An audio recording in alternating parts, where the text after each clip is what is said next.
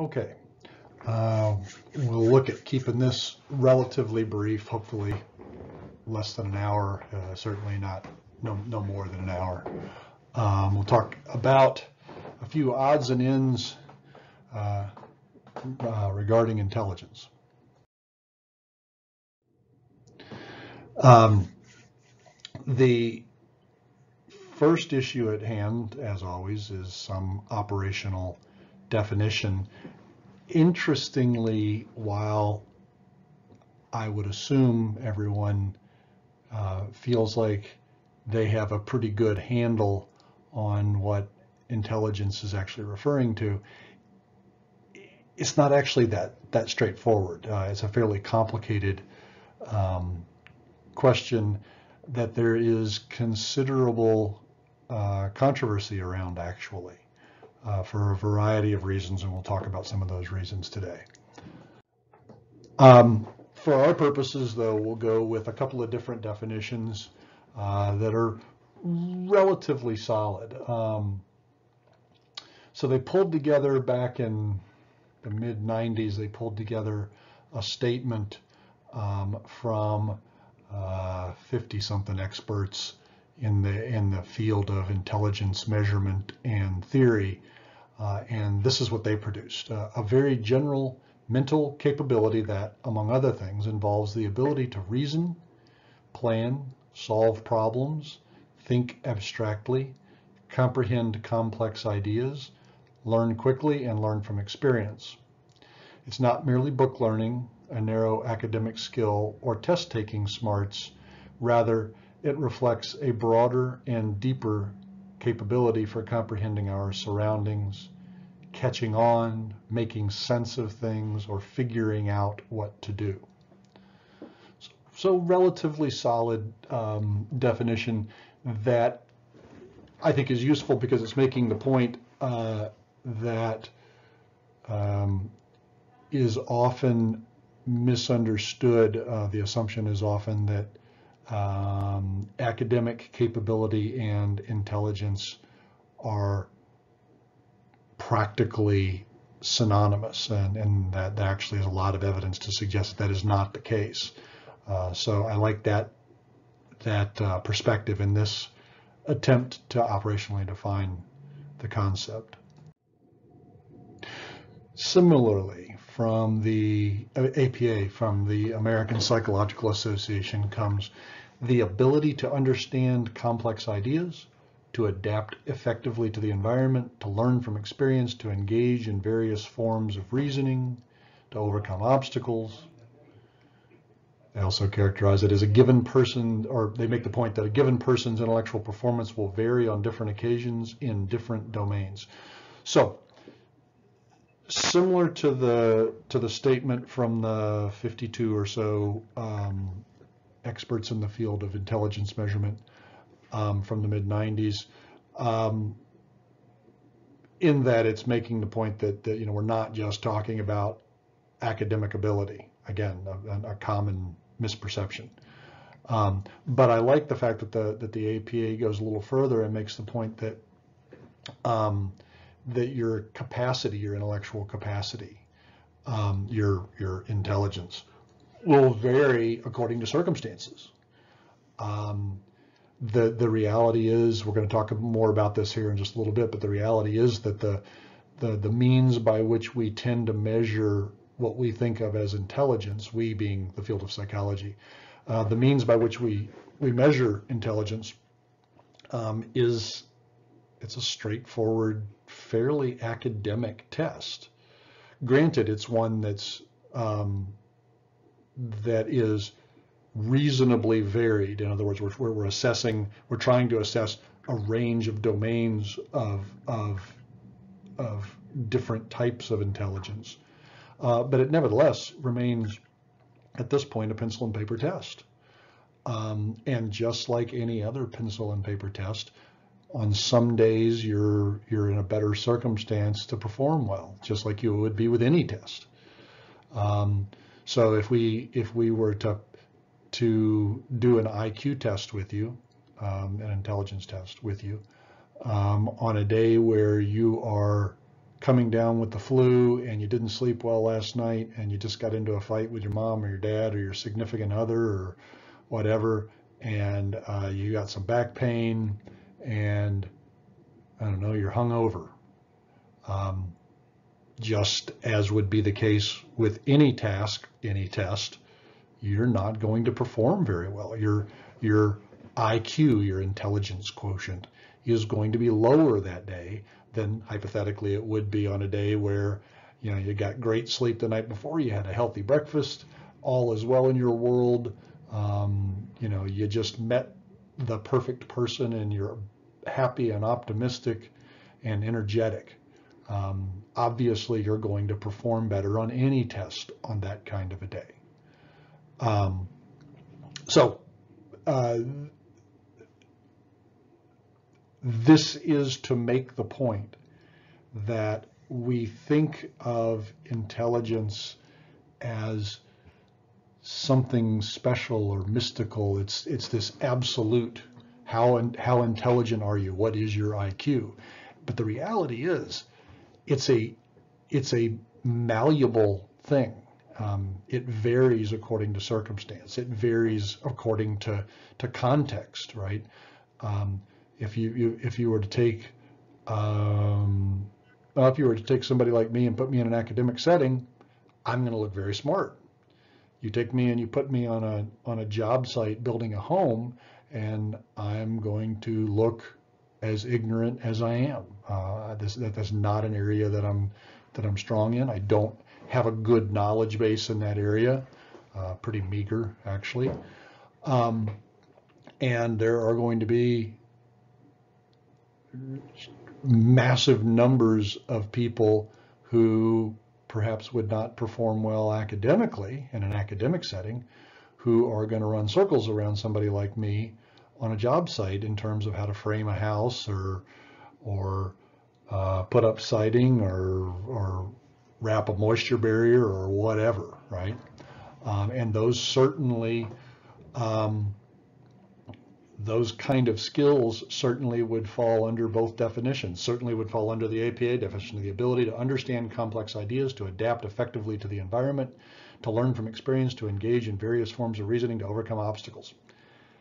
Your ability to build a house or, or plumb a house or run electrical line or, or survive in the woods. All, all of these things would, would fall under the rubric of intelligence. So very broad idea, very difficult to kind of wrap yourself around entirely because it is so broad.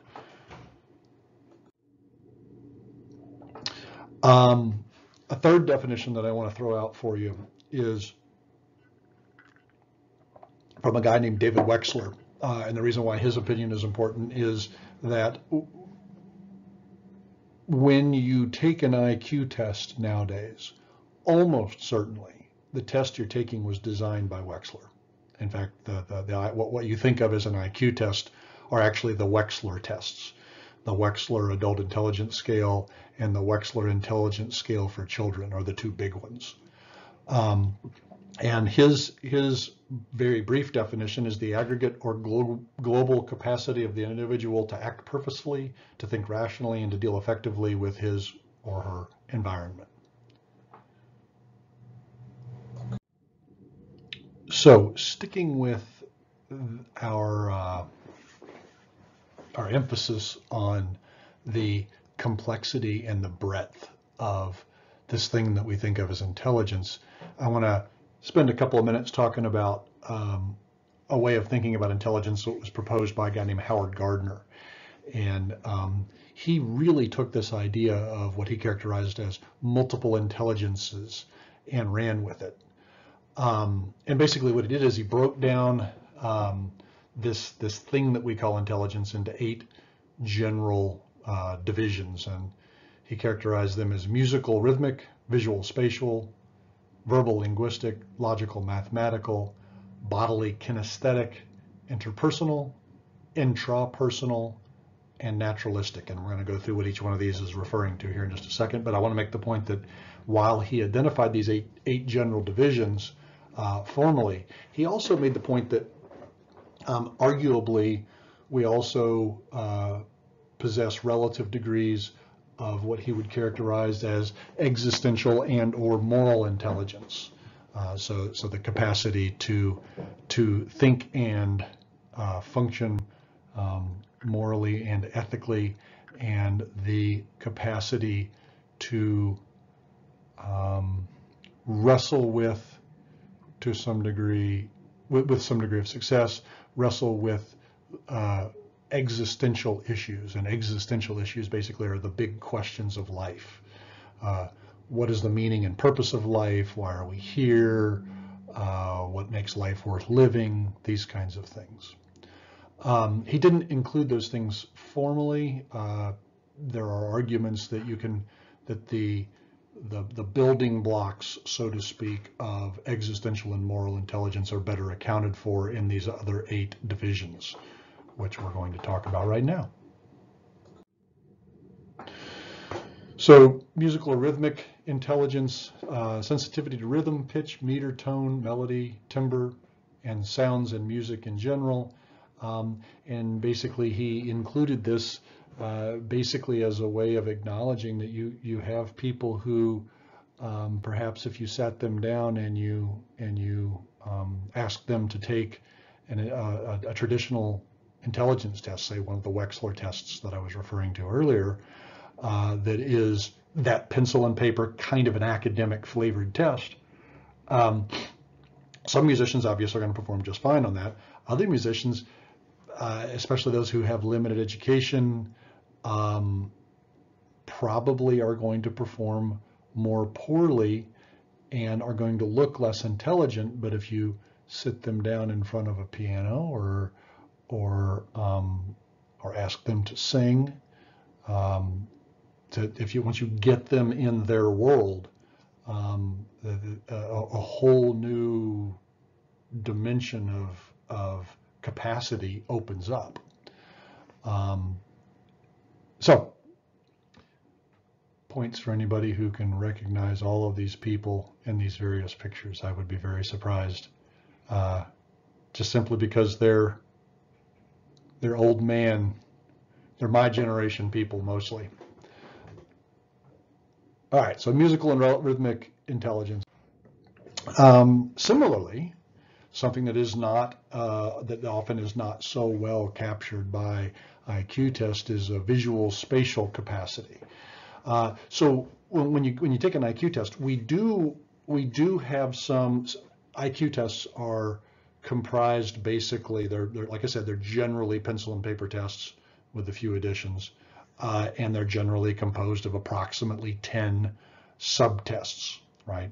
And and the the they're divided into two groups of subtests, uh, tests that are that are predominantly verbal, they're pulling for verbal skills, uh, and a, a, a, group of tests that are pulling for nonverbal skills. And in that nonverbal uh, uh, set of subtests for a typical IQ test, uh, you do have a test that measures in a limited way the visual spatial uh, um, ability or capacity that a person has um, and it does so, the, the, the, the, the, the big test, the, the, the well-known test that, that does this um, is a, a block, what we call block design test. And it is, it's these little, probably inch cubes that uh, on the six sides, two of the sides are white, two of the sides are red, and two of the sides are, are half red, half white. And what they do is they give you a picture uh, on paper of a different of a, of a pattern, and then they give you blocks and they ask you to replicate that picture using the blocks, manipulating the blocks and putting them into like a little puzzle piece. Um, and uh, that starts out with a very, very simple four block design and it goes all the way up if you if you continue to successfully complete all of the the the uh, the, the, questions, the, the, the puzzles. Um, it goes all the way up to a fairly complex nine block design. Um, but that's really, and there's some other tests that that that kind of begin to touch on this a little bit, but um, there's there's not a measure, there, there, there's no assessment in um, and a typical IQ test of um, the ability to draw, um, the ability to work with color and make things aesthetically pleasing, um, the ability to uh, frame a photograph or a, or a video. Uh, these things that, that, they just are not well captured by a typical IQ test. And Gardner was making the point that no, this is this is definitely if you if you watch a uh, a John Ford Western, say, uh, John Ford is a director, and he's very he's famous for his uh, I want to say cinematography. I don't know if that's actually the right term, but but when you when you see frames from his movies, if you're familiar with uh, with westerns generally and and with movie making, westerns in particular and movie making generally, uh, if you see a John Ford a clip from a John Ford movie, it's instantly recognizable because he, he was a he was a genius in, in terms of framing shots. Um, so Gardner's making the point that uh, that while our IQ tests do speak to this in a limited way, um, they don't fully measure uh, the visual spatial capacity that characterizes, say, a great um, a great drawer, a great artist, uh, a, a great photographer, videographer, architect, these kinds of things. So Gardner also uh, included, not surprisingly, uh, when we talk about intelligence, uh, verbal linguistic, verbal linguistic capacity, which I apparently don't have, uh, facility with words and language. Typically, these people are good at reading, writing, telling stories, memorizing words. Um, and obviously, IQ tests um, um, are actually fairly good at measuring this. Um, um, we we include in, in, inevitably in IQ tests, certainly in the Wechsler tests, uh, they look at vocabulary, they look at your your ability to comprehend language, um, your ability to this is more of a visual spatial thing, but your ability to tell stories. Uh, basically, they give you a, a, a, subtest that gives you cards that have pictures on it, um, and your your job is to look at you know these three, four, five, six cards, um, look at the various pictures on them, and figure out what order to put the cards in to tell a story that makes some sense. And again, the stories, all these IQ tests, the subtests on all, all IQ tests, start out very e with easy, easy questions and progress to very difficult questions. Um, with the idea being that each subtest has questions that are sufficiently difficult that the vast majority of people are going to be unable to answer them. Uh, it is a very, very, very, very rare person. Less than 1% of the people who take an IQ test can complete every question on the IQ test. It's just extraordinarily unusual. And that's the, that's the whole design. Um, and we'll talk about why here in a little bit. So uh, Gardner uh, made the point that um, uh, uh, one of these dimensions of intelligence in his view, and nobody would argue with him, is verbal and linguistic. In a similar way, again, nobody would dispute this, uh, he included logical and mathematical capacity, Lo uh, the ability to use logic, abstraction, reasoning, numbers, manipulation of numbers, critical thinking, capacity to understand the underlying principles of some, some kind of causal system. So this is basically mathematics and the basis for science the, the ability to think analytically. Um, and again, uh, our, our IQ tests are heavily bent in this direction. Uh, we actually have a subtest that is mathematical reasoning. Um, and there are a fair number of, many of the subtests uh, get at different aspects of analytical reasoning. That block design subtest that I gave you, that I was describing to you for that, that helps to measure visual spatial reasoning. Well, that's that is also that also is looking at your ability um, to think critically and replicate patterns, right? As, as do a number of the other subtests. Excuse me, the other subtests on a on a Wechsler IQ test. We will we'll go through each of the subtests and I'll describe what they are here in, in just a little bit uh, so that you have a basic idea of what you're getting yourself into if you ever take an IQ test. Okay, now a dimension that probably does fall outside the realm that most people would consider to be a measure of intelligence. And that's what Gardner called the bodily kinesthetic dimension, uh, referring to control of one's bodily motions, capacity to handle objects skillfully, sense of timing, a clear sense of the goal of a physical action, along with the ability to train responses, generally good at physical activities such as sport, dance, acting, and making things.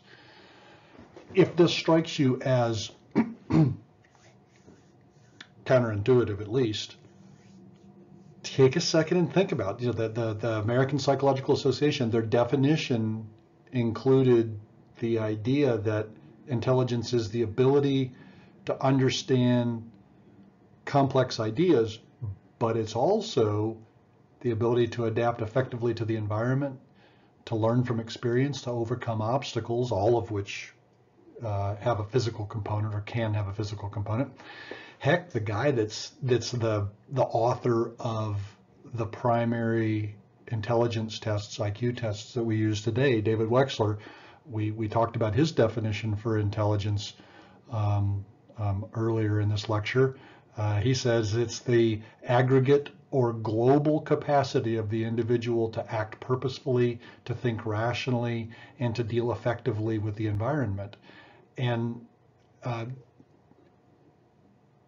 while the Wechsler tests do not include any component to assess this bodily kinesthetic uh, dimension of intelligence or proposed dimension of intelligence, certainly him making the point that it's a global capacity to act purposefully and to deal effectively with your environment um, suggests that this is not an unreasonable dimension. Um, I, I, I think we all know individuals who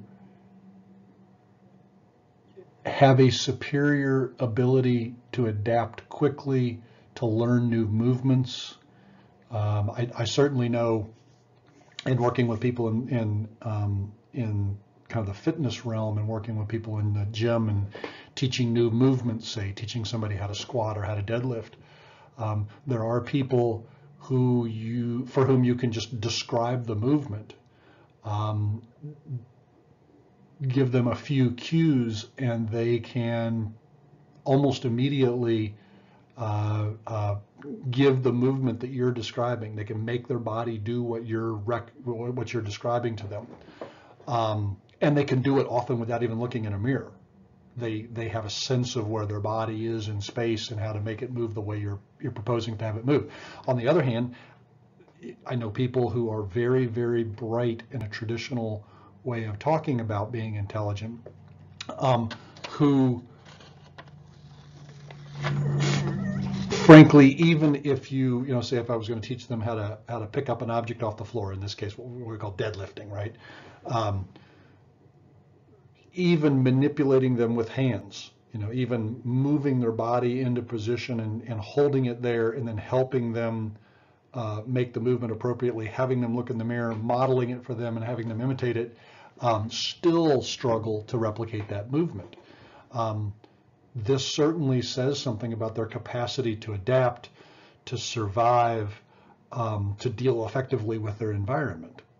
So as, as counterintuitive as it might be, I think Gardner has a very good argument that, that, that there is a bodily kinesthetic component to intelligence, especially if we think of intelligence primarily as the ability to learn adaptively, the ability to learn in such a way that you're better suited for, to, to, to cope with your environment. If that's intelligence, then he's making a pretty good argument.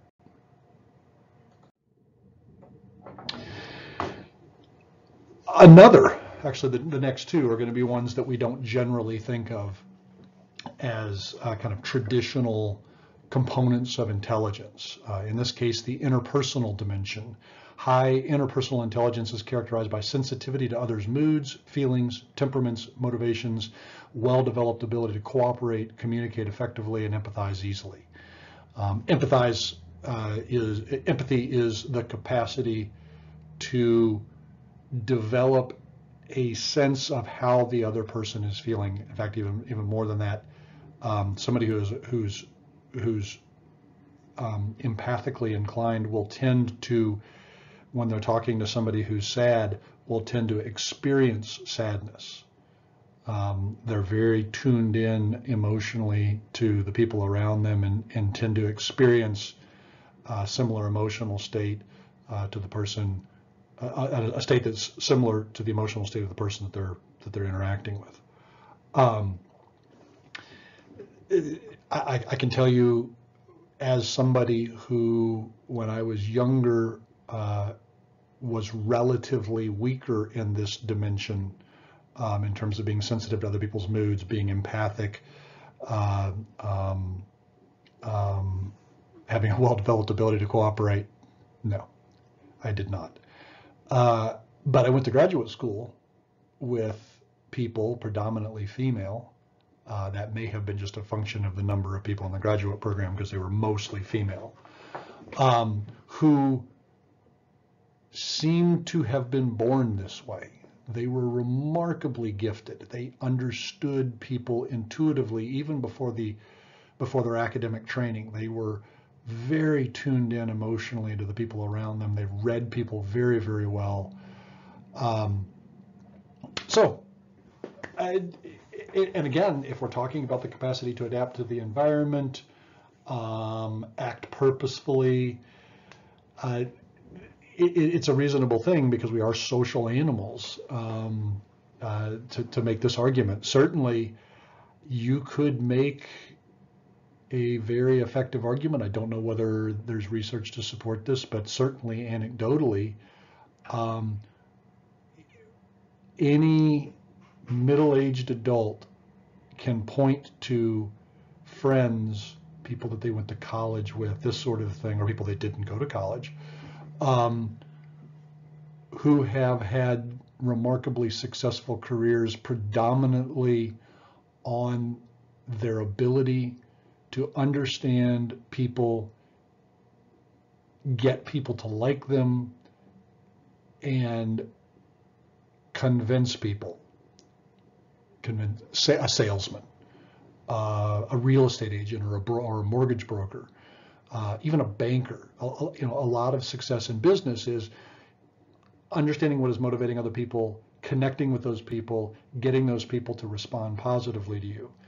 Um, it, it, and, and we think, okay, well, that's that's the modern age. Well, what about what about you know 13,000 years ago? Well, 13,000 years ago, um, your ability to motivate others, to elicit cooperation from others, to cooperate with them, uh, certainly was profoundly important in promoting your survival and the survival of, of your family and friends and such.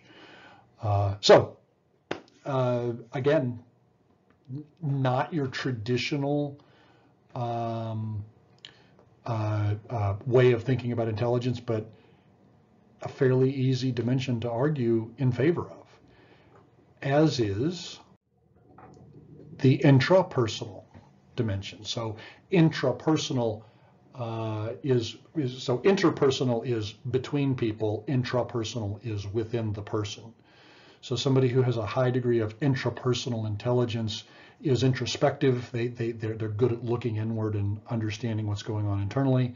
They have well-developed self-reflective capacities. They have a good understanding of themselves and what makes them, them tick, so to speak. Uh, a good awareness of, of one's own strengths and weaknesses, of what makes you unique, of being able to predict your reaction to something, your emotional response to something. Um, th these are people that we generally regard as fairly uh, psychologically stable, perhaps even wise. Um, they understand themselves and in understanding themselves have a better capacity to understand others uh, in in being tuned into their own joy and pain, suffering and and um, success. Uh, they better appreciate and can relate to and can connect with that of others. Um, so, so intrapersonal and interpersonal in these dimensions are, are, are fairly closely related. Not that you can't be high in one and, and low in the other or vice versa, uh, but they're, they're arguably similar um, skill sets. Uh, yeah, I, and again, uh, perhaps not as clearly as the interpersonal dimension, but certainly you can see somebody who reads themselves well, understands themselves, understands uh, his his or her cap own capacities, weaknesses, strengths, is has a survival advantage, has a success advantage, certainly. Again, just basing it on the definitions that were given, you know, the, the, the, the definitions that I provided for you at the beginning, the three definitions, Wechsler, the APA, and then the, the intelligence experts. Those are pretty standard definitions, and according to those definitions, these dimensions that Gardner is proposing make a lot of sense. Um, perhaps the one that I'm least convinced by, uh, just my opinion, um, in Gardner's um, uh, model is naturalistic intelligence, which he described as nurturing, as a capacity to nurture and relate to the environment, excuse me, the capacity to nurture and relate information to one's environment, to one's natural surroundings, ecological receptiveness, holistic understanding of the world. I, I, I will acknowledge I have not, I'm not familiar with Gardner's argument uh, in favor of this being a separate dimension. It strikes me that that these perspectives, uh, the, the, one's ability in this area uh, could reasonably be accounted for by the other dimensions that he introduces. Um, analytical reasoning, language-based stuff, uh, interpersonal awareness, these kinds of th th those those dimensions. Um, that being said, uh, a, a, reasonable way of of a reasonable argument to have. So as appealing as Gardner's idea of multiple intelligence, multiple intelligences is, um, there's a number of fair criticisms. Uh, uh, the, the, the first one is the argument that that what he's actually talking about um, are aptitudes or abilities or strengths um, rather than intelligence itself. Um, interesting argument. Um, I, am not sure how reliably or validly you can tease out intelligence as we've defined it today from um, useful abilities. Um, a more powerful criticism of Gardner's thinking is that it's somewhat uh, what we would call tautological. Uh, a tautology is a, a, logical fallacy, a, a, mistake of logic, in which you prove something using itself, essentially. So, so in this case, it's it's him saying, uh, you know, that that musical ability is a is an intellig is an is a type of intelligence. Um, and the way you know that a person is intelligent in terms of musical ability is that they're good at music. And you're good at music if you have well-developed musical ability. So it's circular, right? It's proving itself. Same thing with physical ability and so on and so forth. Um, further, there's not a lot of empirical data as yet to support his perspective. Um, none of this is to say that what he's arguing for is invalid um, or untrue, uh, but but there are there are some some legitimate gripes that people have. The biggest legitimate gripe that people have um, is Gardner's prediction that um, these these types of intelligence that he's proposing are fairly independent of one another, right? That that um, somebody who is high in physical intelligence uh, that that that strength in physical intelligence or musical intelligence or intrapersonal intelligence doesn't necessarily imply that you're going to have strengths in other areas. Um, in fact, this is uh, this is inconsistent with what we know about intelligence. What we know about intelligence is people who are smart in one area tend to be smart in multiple areas. People who have a high level of intelligence in one of the areas that's well studied, say on the Wechsler tests. Somebody who scores very strongly on, a, on one subtest usually scores fairly strongly on, on other subtests. Uh, and that's a particular concept in and of itself. We're going to talk about that next.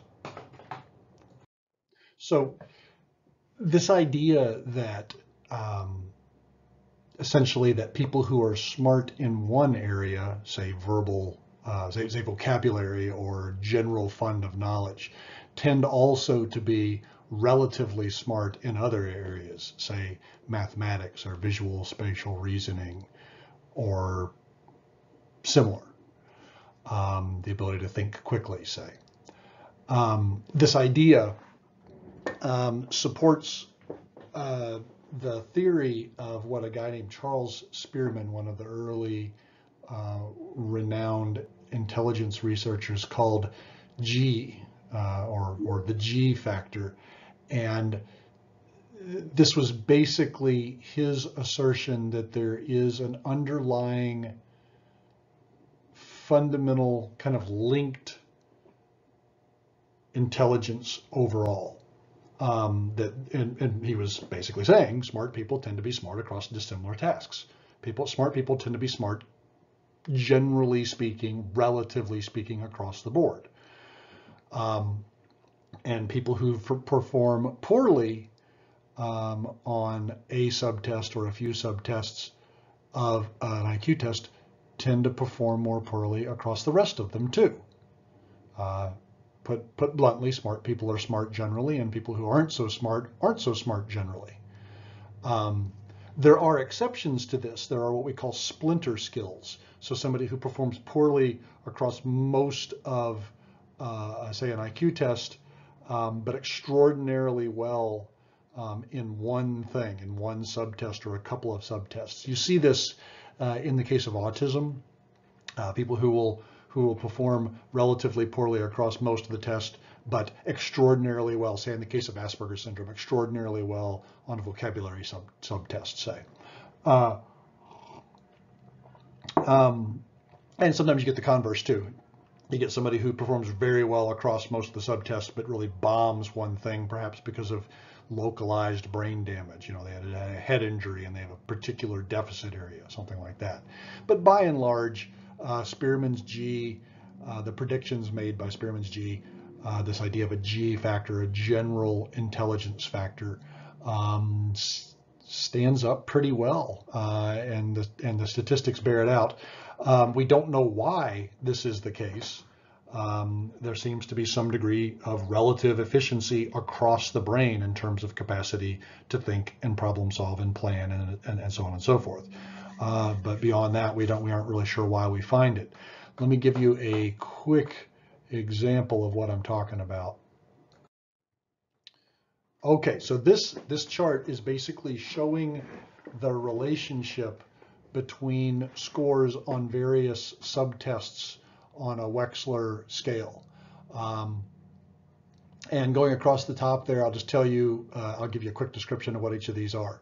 Uh, vocabulary is exactly, V is vocabulary, it's exactly what it sounds like. Uh, S is uh, similarities, and it's basically um, asking the person to identify uh, uh, in what way two objects are similar to one another, in what way are an apple and an orange alike, right? information is exactly what it sounds like it is. It's, it, it's, it's assessing the fund of information, the facts that a person possesses. C is comprehension. Uh, it's looking, uh, it, it's, it's, it's asking questions to understand how well you can use the vocabulary and the information that you possess um, to think uh, rationally. Uh, picture arrangement is a uh, visual test. Uh, I think I've already described this to you before, um, in which you're given a series of cards within with with pictures, simple line drawing pictures on them, and you take these cards and you arrange them in order to tell a, a story that makes sense. Um, block design, BD is block design. It's that test that I described to you earlier uh, an assessment of visual spatial reasoning. A is arithmetic, which is exactly what it sounds like. PC is picture completion, and it's basically a line, uh, cards are presented to you with line drawings on them of objects, and in each drawing there is something missing. There's a detail missing, and you have to be able to tell what that detail is that is missing. Digit span is also exactly what it sounds like. It's like uh, you are they, they, they, read to you uh, a series of numbers and you're asked simply to repeat them back. Uh, that's the first part of the digit span subtest. The second part, of, and, and all these things become more difficult as they go. Vocabulary words become more difficult. Similarities become more subtle. Uh, the information questions become more complicated and more more uh, kind of esoteric, et cetera, et cetera. Um, um, in the digit span subtest, you know, it starts out and it's maybe three or four digits. And every time you get one right, it gets a little bit longer, a little bit longer, a little bit longer, uh, until presumably we're going to exceed your uh, working memory capacity. Um, and then after you've done that first half of the digit span subtest, we we make we further complicate the issue and we say, okay, I'm going to read you a series of numbers and I want you to repeat them back to me in reverse order. So if I say 867, you have to say 768. And same thing, those we present, every one you get right, we present it with longer and longer and longer uh, series of numbers. Um, OA is object assembly. It's basically putting together a puzzle. Uh, and DS is digit symbol. And this is essentially, uh, you have a, a key of, of symbols that are paired with a number. So one symbol with the number one, a different symbol with the number two, a, a, third symbol for the number three, and so forth up to 10 symbols, if I remember correctly. Uh, and then what we have you do is as quickly as you can, we give you, um, we give you the, uh, uh, on the lower part of the page, we, we, we give you boxes that have a number in them and you have to fill in as quickly as you can, as many as you can in the allotted time, uh, the corresponding symbols to all of these numbers, right? Um, so, yeah, the basic picture of these subtests. What this chart is is laying out for you is, uh, if you go all the way over to the left of the chart and you look at the at the V, the vocabulary subtest, and you go straight down, well, V, the vocabulary subtest is correlated 100% with the vocabulary subtest, right? It's the same test. But if you go down and you look at people who score well in the vocabulary subtest, there's a 0.67 correlation on the similarities subtest. Remember that that's high. Anything above 0.5 is strong. Uh, vocabulary subtest. If we look at people who, who how they perform, people who perform well on the vocabulary subtest uh, tend to have a high correlation. They tend to score well on the information subtest, 0.72, 0.70 on the comprehension subtest, and on down. And basically what you're looking at there as you go down that, that first column with the vocabulary subtest as you go down into arithmetic, picture completion, digit span, object assembly, and digit symbol, what you're looking at is uh, um, uh, tests that are moving further and further and further away from that verbal uh, domain, that verbal comprehension domain, uh, and more toward nonverbal visual spatial uh, um, um, requirements. But what you'll notice is there are a lot of, of 0.5s and higher here.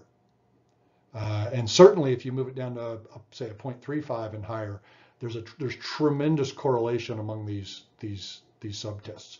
This supports uh, the the uh, uh, Spearman's assertion that there is this general intelligence. So what I was giving you there with the subtest for the Wechsler uh, tests, I want to give you a little more information about them. Um, a couple things to bear in mind. Uh, the first one is IQ points are not percentage points. And I'm, I'm going to I'm to show you this in a graph in just a minute, but I want to hit these points and then we'll come back to them and we'll look at it graphically. Um, IQ points are not percentage points. Um, an average IQ is 100. um, there is a range, the average range for IQ is 85 um, to 115. When you get above 115, you're beginning to talk about above average. When you get below 85, you're looking at below average. Um, when you get down to 70, uh, so 100 is average.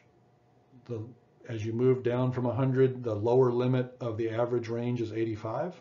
As you continue to move down and you get 30 points away from 100 or two standard deviation, 15, the standard deviation on an IQ test is 15 points. You get two standard deviations away from that average score of 100 and you get it down to 70.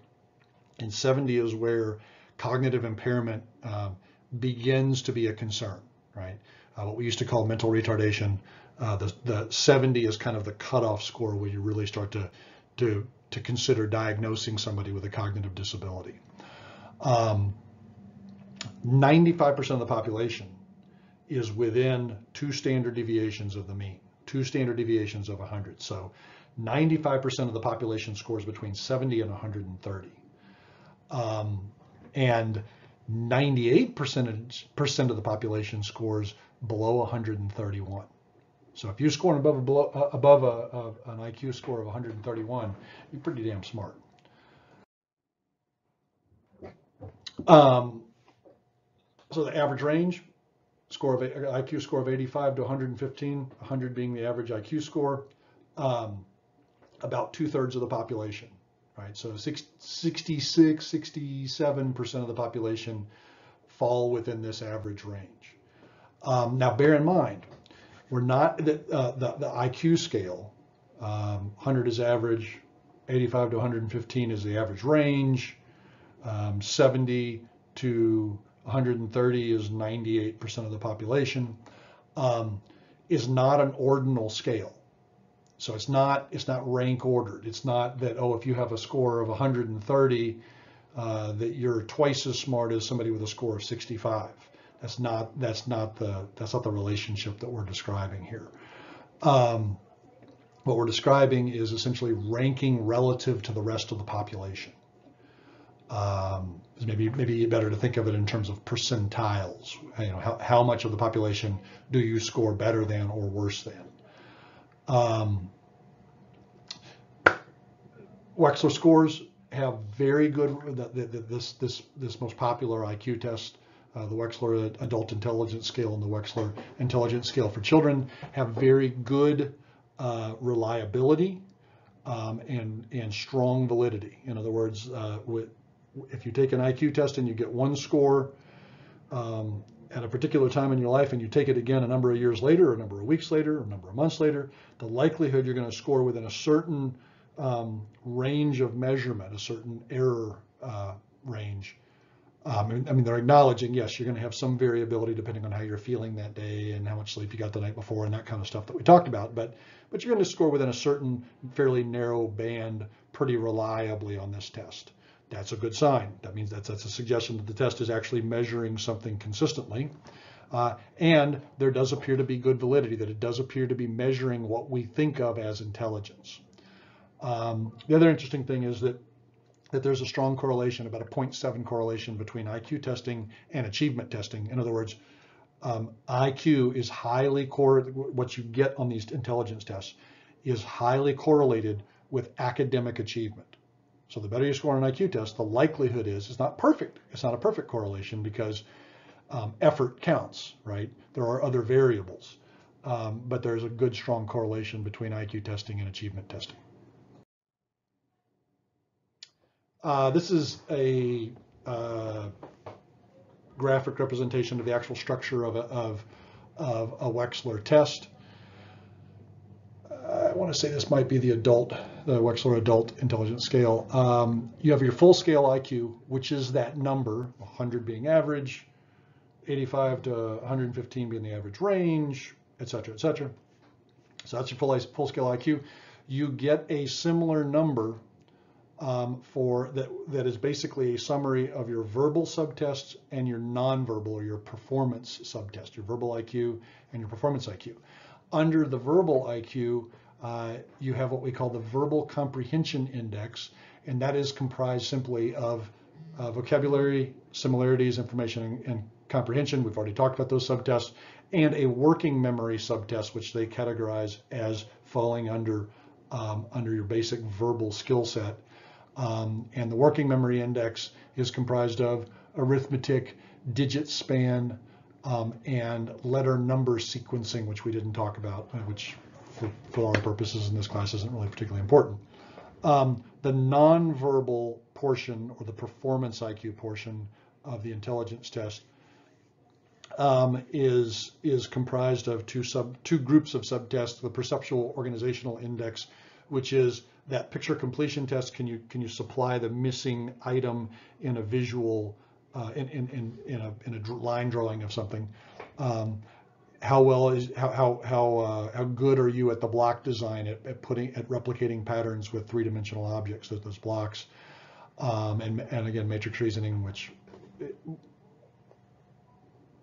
we won't talk about. They're, they're, they're, it's just not pertinent for what we're doing. Um, and then there's a processing speed. How quickly do you think, um, which is that uh, digit symbol coding that I talked about, um, and something called symbol search, which again, uh, I, wanted to give you a basic picture of what most of the subtests look like, uh, but be, but knowing all the details of all the subtests isn't particularly important. Uh, so you've got full scale IQ, You've got basically a verbal and a nonverbal component to it. On the verbal component to it, you're looking at how well do you comprehend things verbally, uh, how well developed is your working memory capacity. On the nonverbal end of things or the performance end of things, you have uh, perceptual organizational skills, which are essentially nonverbal thinking skills, and how quickly do you think. Okay. I said to you that I would represent all the numbers that I was giving you a couple of slides ago graphically. Um, and what you see there, the, the, the, bell curve in, I guess that's orange, um, at the top of this slide, uh, bell curve, normal curve, is basically showing you the distribution of IQ scores. And if you look down all the way at the bottom um, of this slide, you will see actually uh, the the, the IQ scale itself with 100 as the mean, as the average, um, 85 to 115 comprising approximately 68% of the population, approximately 98% of the population falling between 70 and 130, um, and essentially 100% of the population falling at 145 or below. It's like 99.9% or 99.8 something percent. And you'll also see there, this is this is an old chart, but you'll also see there um, corresponding ACT, SAT, and percentile uh, scores.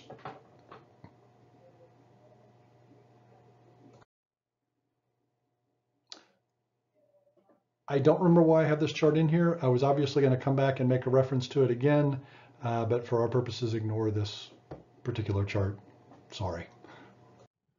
Okay. Um, last thing that I'm going to talk about here is, oh, and believe me, there's so many things we could talk about that would get potentially get me in so much trouble because there is it is so easy to start treading into very controversial areas. Um, we'll talk broadly about the heritability of intelligence. In other words, basically, how, how genetically loaded is intelligence? How much of how much of IQ is inherited? Uh, the, I think this this serves as a good stand-in for a lot of the other controversial areas. Uh, does sex affect intelligence? Are males smarter than females, or females smarter than males in any broad way? Uh, are there differences between the races? Are there differences between uh, people in different socio socioeconomic strata in, in society, et cetera, et cetera? Uh, this becomes a big deal because there are those who would feel comfortable assigning implicit value to human being human beings on the basis of their intelligence. Um, in other words, saying that somebody who is uh, highly intelligent is inherently more valuable than somebody who is well below average of an, an intelligence. Um, if this strikes you as um, as implausible that somebody would be so harsh as to make such a judgment. Um, I would suggest that you look over uh, over in Europe and to a lesser extent even in America. There's a little more pushback in America, but in Europe, I want to say it was Norway um, that is undertaking uh, to eliminate Down syndrome um, from their population uh, by using abortion. Uh, so their idea is identifying people because you can identify with some degree of accuracy the people with Down syndrome prior to birth and then eliminating uh, that birth by abortion. Um, and certainly, I, I, think it's a fairly straightforward argument to make that that the with the implicit assertion here is that this person, because of their lower level of of intelligence, which to be fair is a it's it's a it's impaired. Uh, you know, the person people with that with Down syndrome generally perform below 70 on an IQ test, so they are in that impaired range, that range of cognitive disability. But I, I think when you look at this, and this is not just unique to Norway, by the way, this is this is a fairly broad, um, depending on your perspective, problem. Um, uh, there does seem to be a degree of comfort with el eliminating this group of people on the basis of fundamentally, not that the, not it's the not that it's the only variable in Down syndrome. There are some medical problems and such that are also accompanied, but the, but the primary thing that concerns most people around Down syndrome is the fact that they are cognitively disabled. Um, so this is a real issue. Um, and you can see uh, just from that little snapshot how if you start talking in terms of is one race stronger uh, in, in performance on intelligence testing than another race, um, you get it, you, you again, you find yourself in, immersed in that question of does this imply anything about individual human value? So it's a very, it, it can become a very poisonous debate. Uh, and I feel bad for the people, frankly, who are in intelligence testing because it is, it's a, it's a very easy thing for earnest frankly, kind of nerdy, um, idealistic uh, academics to become pretty vilified, pretty hated. Uh, there's a guy, uh, I can't think, I want to say his last name is Murray, uh, who wrote a book a number of years ago um, uh, called The Bell Curve about intelligence. Um, and he had a chapter, he made the mistake of including a chapter on uh, what the research was around race, and he has paid for it ever since then. Um, despite the fact that he was very careful in the book, if you actually read the whole thing, which 99% of the population didn't do, including all the people who were covering it. It was a big deal in the news. Um, he was very careful in the book to uh, be very explicit about the limits of the research and about the fact that he was bringing the these questions up out of concern for racial equality and out of concern for avoiding some of the the human rights abuses that take place around these questions. All that being said, he paid for it and continues to pay for it to this day because he is still alive. Um, so I'm not getting involved in all that stuff. I want to acknowledge that it's there. I want to acknowledge there's a lot of controversy around it. Um, the one thing I will speak to is to the general idea of heritability of intelligence. How much of it is genetically determined? Because we we have pretty good data on that. Uh, and what you'll see here is just a quick um, graphic representation of the degree to which genetics um, is correlated with IQ. Um, how genetically loaded IQ is. Uh, and what you'll see there uh, is that when you have uh, at the bottom of the chart is identical twins reared together, meaning identical twins, so they, they are 100% the same genetically, and they are raised in the same environment. If you go up from there, identical twins raised apart. Um, you get about uh, a correlation of about 0.75 um, for identical twins raised apart. So they share genetic material, but not environmental influence. Um, and you get about a 0.86 uh, correlation between identical twins raised together. So identical genetic material and presumably fairly similar uh, uh, physical environment.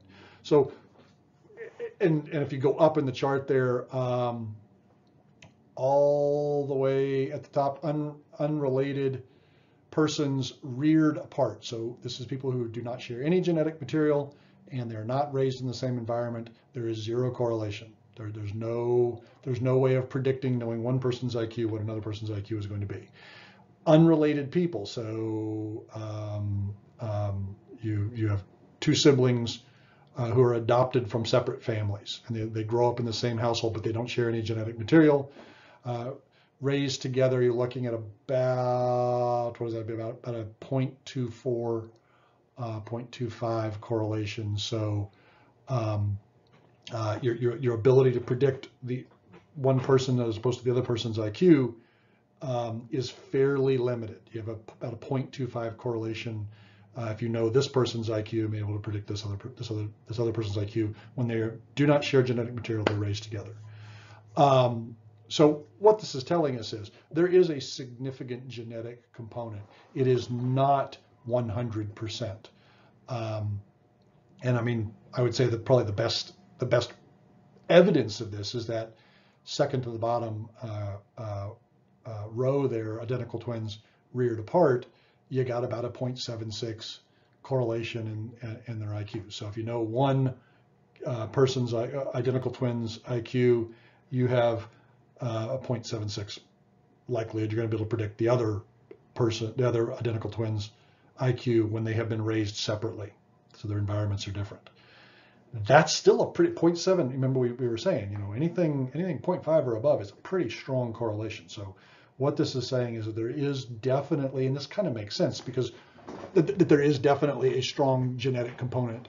Uh, not that environment is not important. It is absolutely important environment appears to be important in terms of getting you as close as possible to your genetic potential. Obviously, environment cannot lead to you exceeding your genetic potential because that's a hard limit. But so, so basically, the downside is this. You can screw somebody up environmentally. You know, they can have potential that you never allow them to reach because they're malnourished or they're, they're, they're emotionally or physically uh, neglected, because they're abused, because they're exp uh, uh, exposed to trauma, et cetera, et cetera. So you can you can you can um, sabotage them with environment, um, or you can use environment to get as close to their genetic potential as possible.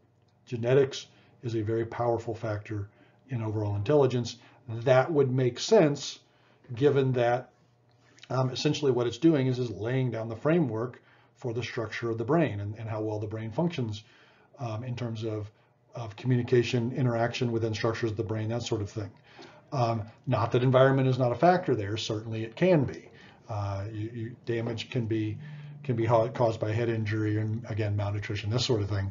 But, what essentially this is saying is that that clearly there is a strong biological component to intelligence. Surprise, surprise. Intelligence is a function of a biological entity, the brain, how well the brain is is interacting with itself, how efficiently and how quickly it's interacting with itself. So, and with the environment. Um, so at any rate, that's all I'm going to say. I wanted to make sure that I, I, got that information out there. I am not treading onto other ground around sex, around race, any of that stuff, because frankly, the, the, the data is fairly controversial still. Um, and um,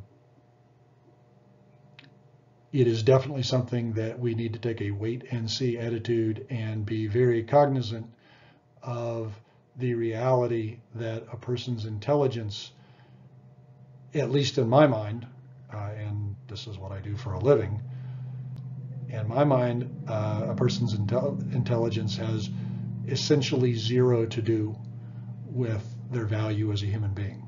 Their value as a human being is absolute. It is not uh, um, impacted by how smart or not smart they happen to be. That's the final thing I'm going to say on it. All right. Good luck with studying and see you in next class.